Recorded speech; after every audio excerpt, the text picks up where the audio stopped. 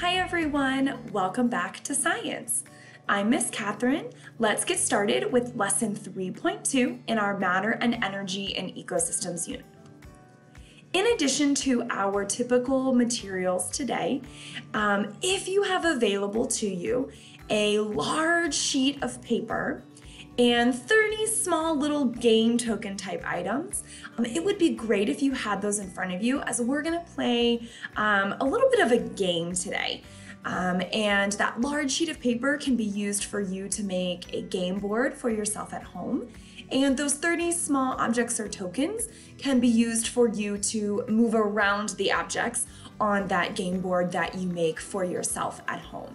Um, and what I mean by a game token is just any small object really that you can move around. They don't have to be 30 of the same thing. Um, you could have a couple of um, dice, for example, and then a couple of Monopoly houses and some other like Sorry game board token. Um, it really doesn't matter what they are. They also could just be tiny little strips of paper or little pieces of paper that you use as well um, so that you can move them around and track carbon today as we play a game that involves carbon in an ecosystem. Um, if you don't have any of those things, that's okay. I'm gonna play the game um, on my screen and you can follow along with me as I do that. One thing you will not see on our list today that you will not need is access to Amplify Online. So even if you are able to get into Amplify, um, don't worry about doing so today as everything that we're going to do uh, will be centered around the game and that piece of paper that you already have. So um, here is your heading for your paper for today. I did put the click path up here just so you know where you are. Um, but again, I won't be having you go into Amplify Online today to do any of those things. We are going to again today consider this investigation question that we started last lesson in 3.1. And that is if the amount of carbon changed in one part of a closed ecosystem what happened to the carbon in the rest of the ecosystem. And last time we began considering this question in the context of a reading um, titled Carbon in the Global Ecosystem. And through that reading, one thing that we uh, learned that was new to us is that carbon uh, moves and cycles around an ecosystem, kind of like water moves and cycles around an ecosystem as well. We know that water can evaporate um, and go from Earth's surface into Earth's atmosphere. We then know that water in the atmosphere can change from a gas to a liquid um, and then rain back down to the surface again through precipitation. Um, and we made a connection to this carbon cycle as something similar, where carbon can move around between both the abiotic and the biotic parts of an ecosystem. And the article informed us that human activities like the burning of fossil fuels for energy um, is a way that humans have changed the way this carbon cycle naturally occurs on Earth's surface. And one of the um, annotations that we made in our reading last time focused on this idea that Earth is a closed system. Um, because things or matter or stuff isn't leaving um, Earth and going out into space, and things from space aren't really coming into Earth either. Um, so the amount of matter, the amount of stuff is, is remaining the same, which is why we consider Earth a closed system. And remember, our biodome is also a closed system uh, because what is in there stays in there. And this article reminded us that carbon isn't being produced or it's not being um, used up. The total amount is not changing. So if it's increasing in one part of the system, it must be also decreasing somewhere else. So for our warm up uh, thinking question here today, I'd like you to pause the video and I'd like you to reflect on our investigation question and answer that question um, as best as you can at this point. So if the amount of carbon changed in one part of a closed ecosystem, according to the article, what happened to the carbon in the rest of the ecosystem? Remember, this investigation question is important to our problem of the failed biodome experiment of the econauts because the biodome did not have enough carbon dioxide in the atmosphere, which then caused the producers to not be able to produce enough energy storage molecules through the process of photosynthesis which then resulted in the plants and the animals not having enough of those energy storage molecules that they needed uh, to conduct cellular respiration and therefore have the energy that they needed to grow and live and reproduce and survive.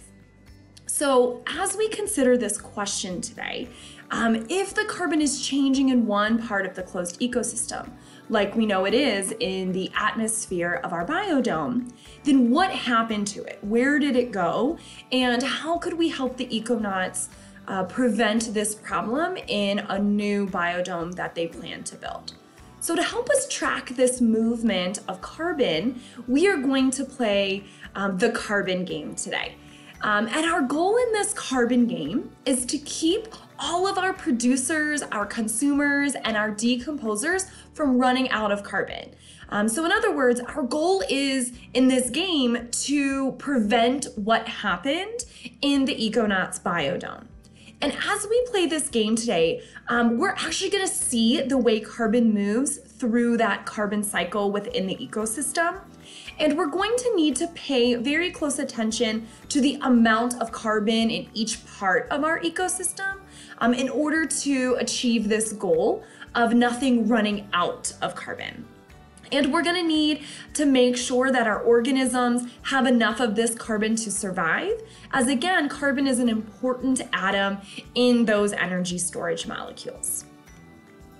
Um, so this is what our game board today is going to look like.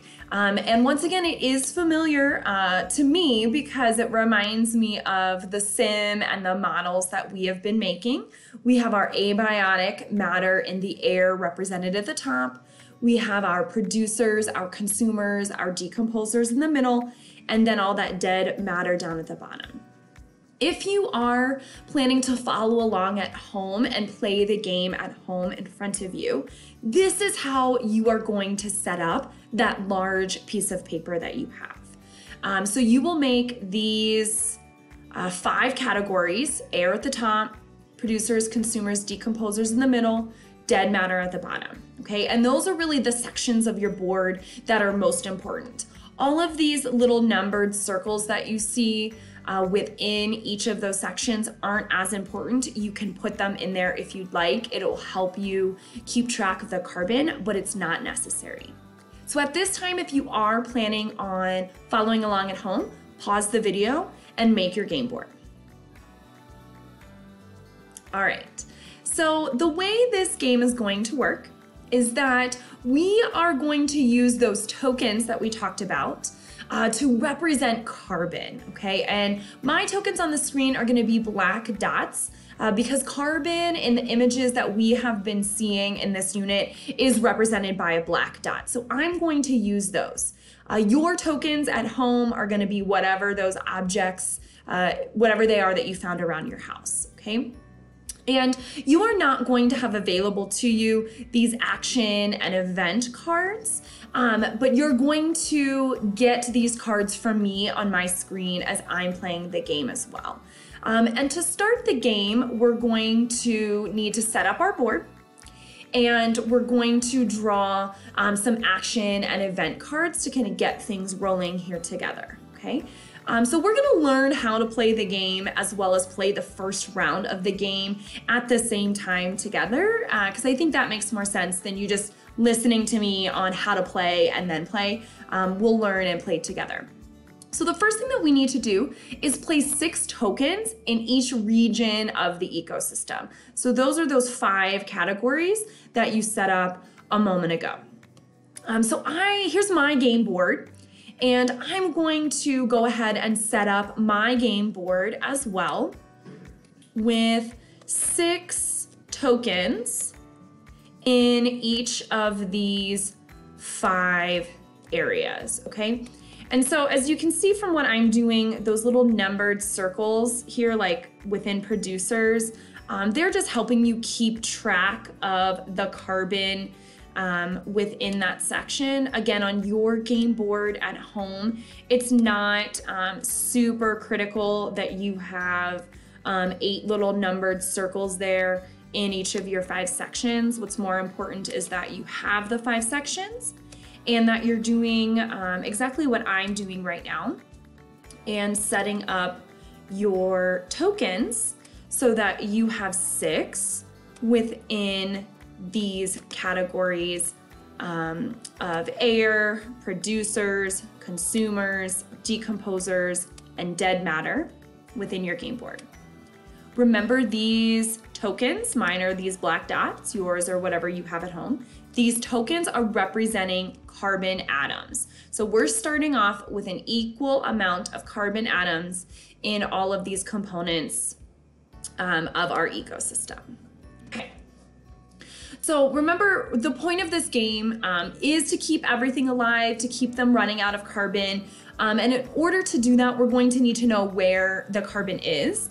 Um, and another um, reason why this game is going to be helpful for us is that it's going to help us answer this investigation question and really be able to track where carbon is going throughout an ecosystem as the result of different events and things that occur. All right, so we're going to keep um, record here both before and after our game of what is the amount of carbon within the abiotic matter of our ecosystem, the biotic matter of our ecosystem, and then the entire ecosystem as a whole. Okay, so if I go to my game board, um, let's do abiotic matter first. I only have one section of abiotic matter. I only have one section of non-living things, and that is the air. And I have one, two, three, four, five, six tokens, because um, that's how I just set it up, okay? So biotic matter, this is referring to all of the living things, okay? So if I go to my game board, um, it's not just how many is in producers or consumers, um, it's all of this. So all of this is considered biotic matter um, because all of these things are living or were once living. So if something is dead, that means it was once alive. Um, so we're gonna consider that to be biotic.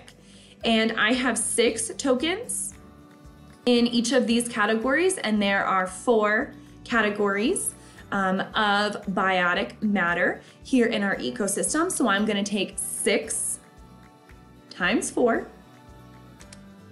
perfect, 24 um, for the number of carbon atoms in biotic matter. Um, and then I also want to know how many um, total uh, carbon atoms I have um, within the entire ecosystem, both abiotic and biotic matter. So if I add those together, 24 plus 6 is 30. Okay, so I'm to have that recorded. Um, and when we're finished playing the game, we'll reflect um, on what happened in the game by doing the exact same thing. Okay. So our game board is set up. And when we play the game, we're gonna draw an event card. And event cards are uh, naturally occurring events within the ecosystem. And when we draw the card, we're gonna read what it says, and then we are gonna consider what is the effect of that event within our ecosystem. How did this event impact where carbon is uh, within the ecosystem? So our first event card right here is in green and it says that animals munch mushrooms. So I have some consumers eating decomposers. So I have some animals eating mushrooms, okay? Um, you know, I like mushrooms on my pizza, you know, so that, that would count in that um, in that category. Um, so the card is telling me to represent this naturally occurring event, we need to move matter from decomposers to consumers, and it's telling me to move specifically three carbon um, because if a consumer ate a decomposer, then it means it took some of the matter that was in a decomposer and moved it with inside um, itself, um, its consumer, okay? So on my game board, I'm gonna go ahead and I'm gonna move those three carbon tokens from decomposers to consumers. If you are following along at home right now, you're gonna wanna do the same thing on your game board. So it doesn't really matter which ones you move and where you move them to, as long as you're moving three. So there's one from decomposer to consumer, two, and three. And I'm just gonna hang that third one out here. It doesn't have a numbered circle, it doesn't matter. Again, that's why I said those numbered circles um, aren't super critical, okay? So now I have moved three carbon tokens from decomposers to consumers to represent that event of a consumer eating a mushroom. All right, so now we're gonna consider an action card. And the action cards are actions that we as humans could choose uh, to take within our biodome, within our ecosystem. Um, and so we're gonna have two at all times to choose from, okay? And so right now we have two actions that we can choose um, to make, okay? One says turn on grow lamps, and one says increase humidity. And when we make the decision of which action we as humans um, want to take, we want to consider where things are in our ecosystem. What would be um, the most benefit to our living things um, by making sure they have the carbon that they need to survive? So when we decide which action to take, we're going to consider that. Okay, so if I um, choose to turn on grow lamps, that's going to mean that producers do more photosynthesis and we're going to move carbon from the air to the producers. So if I go back to my game board, if I choose to turn on the grow lamps, then that means this carbon from the air, two of them, will go down here to producers. Okay? The other action that I can choose is to increase humidity. And humidity again refers to the amount of water vapor, the amount of moisture in the air. Um, and if I do that within the biodome, within this ecosystem, that means that decomposers um, eat more and reproduce more. Um, and so remember, decomposers get their energy storage molecules from dead matter. So this will move dead matter, um, move carbon, excuse me, from dead matter to decomposers. So if I look at my game board, that means I'm gonna move um, three from dead matter to decomposers. Okay, so I want to ask myself which one of these actions would be more beneficial to the living things within the ecosystem. What do you think? Well, I think moving from dead matter to decomposers um, and do then, doing that by increasing humidity um, will be best here because my decomposers, they're, they're running a little low here on their carbon. Um, so I'm gonna choose to take this increase humidity action. Um, so if you're following along, we're gonna pretend like we increased the humidity and we are going to see the effect of that by moving three carbons from dead matter to decomposers uh, because mushrooms and decomposers, a lot of them really uh, thrive in moist and humid environments, okay? So now, oh, I'm gonna do that. Okay, here we go.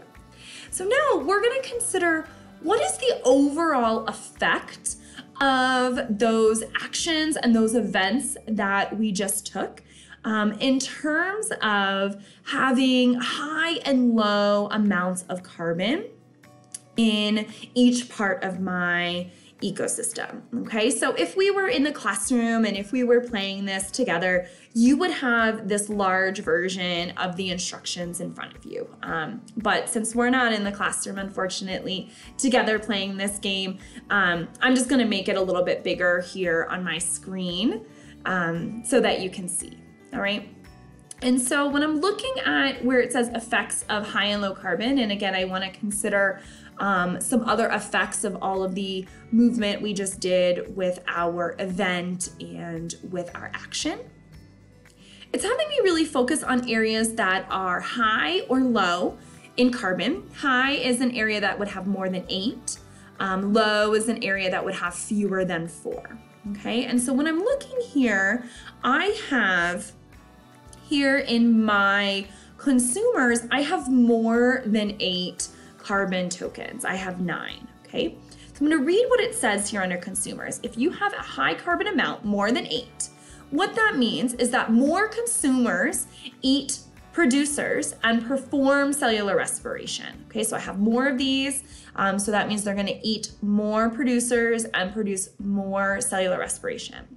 So as a result, I'm gonna move one carbon from producers to consumers, and then one carbon from consumers uh, to the air. So on my game board, I'm gonna move one from consumers, move one uh, from producers, excuse me, to consumers. Okay, so one from producers to consumers. Okay, and then I am also moving one from consumers to the air. Consumers to the air. Okay. And then I also down here in my dead matter, I have fewer than four. So I'm gonna read down here what it says to do if you have fewer than four. Um, so if you have fewer than four, it means that decomposers do not have enough carbon from dead matter to survive. So you're gonna move one carbon from a decomposer to dead matter uh, to represent that dying off of a decomposer because it didn't have enough carbon from the dead matter that's there. So I'm going to do that here on my game board. And again, if you're following along online, I'm sorry, you're following along um, in person, not online, with your game board, um, go ahead and check your board to mine. Um, so based off of the um, events and actions and effects that just occurred, we now have seven carbon in the air. We have five in producers. We have nine in consumers, five in decomposers, and four in dead matter. So now we're ready to draw another event card, okay? So I have one here ready to go. So I'm gonna draw that new card. I'm gonna move it over because this is this is our new event. We already we already did this animals eating the mushrooms, so now we're on something new. And this one says extra rain for plants. Producers do more photosynthesis if there was some extra rain. So to represent that, we're gonna move three carbon from the air to the producers. Okay, so three from the air to the producers. There's one from the air, two, and three. Okay, so that is a naturally occurring event. Um, there was some extra rain, so we therefore had a little bit more photosynthesis and therefore moved some extra uh, carbon from the air to the producers. Perfect. Now, we as humans are um, going to choose um, to take some action in our ecosystem based off of that event. So we still have this option down here. Remember, we're always gonna have two options. We didn't turn on the grow lamps last time, and so that one's still there. And I'm gonna draw a new action card. And this new action card um, is saying that I can choose to feed producers to consumers, okay? So I could maybe give this rabbit here um, some extra grass to eat. And if I make this choice, I'm going to move energy storage molecules are gonna transfer from the producer to the consumer, and I will represent that on my board by moving two carbon from producers to consumers. Um, so right now we have a choice. Which action is going to help our ecosystem overall? So take a look at the game board. Take a look at what will happen as a result of either of these actions and ask yourself which one is going to be most beneficial. Well, I think this feeding producers to the consumers is going to be most beneficial um, because when I look here, even though I have a lot going on in consumers, um, I also have a lot going on in producers.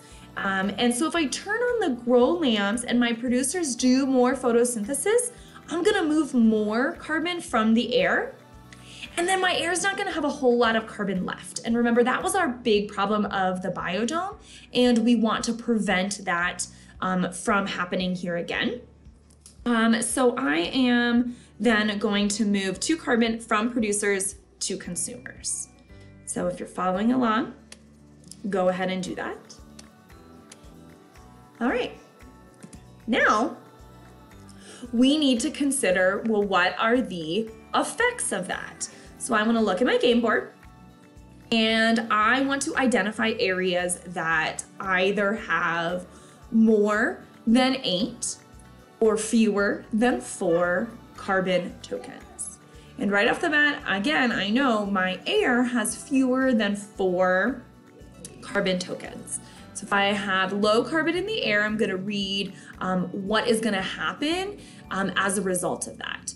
So low carbon, fewer than four in the air, means that producers do not have enough carbon from carbon dioxide to make energy storage molecules. So I need to move one carbon from a producer to dead matter um, because our producer died off there. It didn't have enough, um, there wasn't enough carbon um, in um, the atmosphere for it to help make those energy storage molecules, okay? And so then now I wanna continue to identify any areas that have more than eight or fewer than four. And it looks like my consumers here have um, more than eight. So let's read what happens if there's high carbon in consumers. Um, it says more consumers eat producers and perform cellular respiration. So I need to move one carbon from producers to consumers.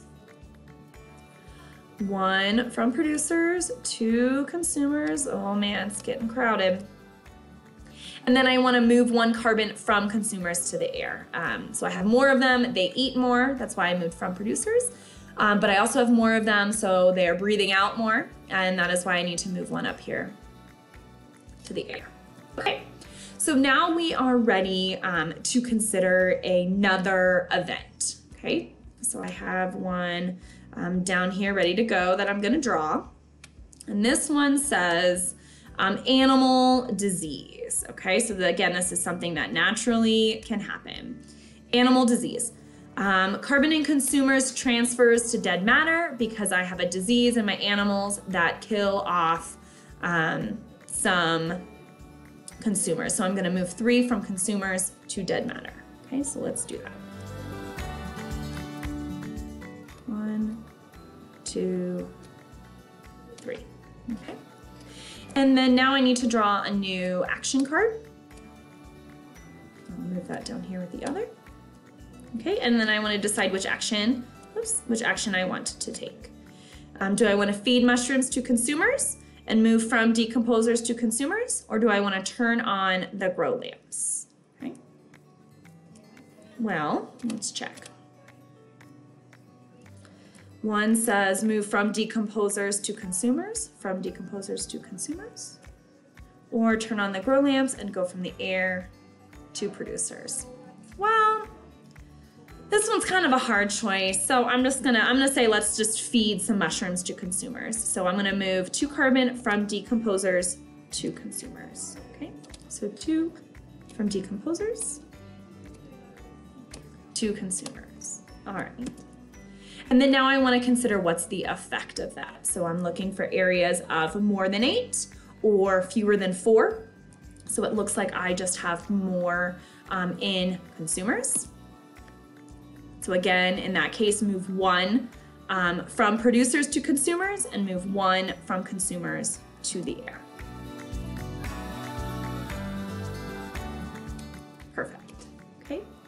Um, and so if you're playing along at home, um, what I'm going to do right now is just show you um, another event and another action um, that you can play with on your own, um, but I'm not going to do it on my board for um, the sake of time, okay?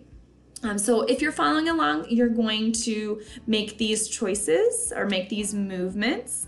Otherwise, if you're not, you can just think about what would this do, okay? So here's an action of consumers eat more producers to fatten up for the winter. So I'm moving three from producers to consumers. And let's draw another action card. This one says to cut down overgrown producers.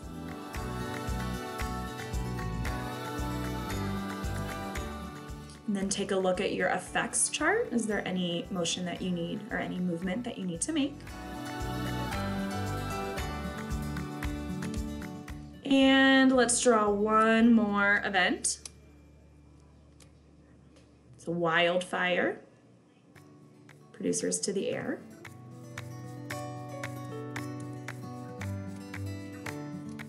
And another, oh, we already used that one. Another action you could choose to take. So start a compost or um, reduce consumers. And then take a look at your effect chart. What effect did those events and actions